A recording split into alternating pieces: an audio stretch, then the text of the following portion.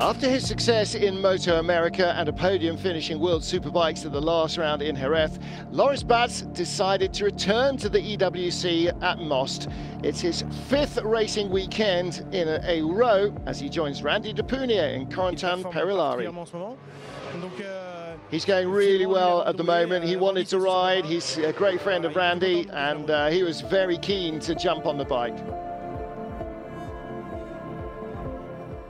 Uh, the idea was to do a race with friends. I've known Pierre for years. Uh, he's been asking me to do a race for with him for a long while. It never happened. Randy's also a great friend. He told me about it, and it, it just fitted into the calendar.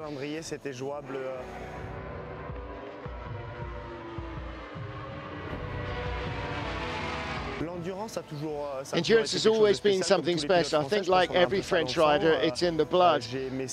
I really love it. I, I did my first endurance race at the age of 18 with Yacht.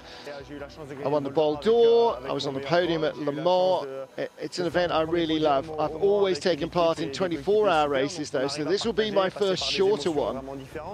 I was lucky enough to win the Bol with my best mate, to get my first podium at Le Mans with a great team and teammates.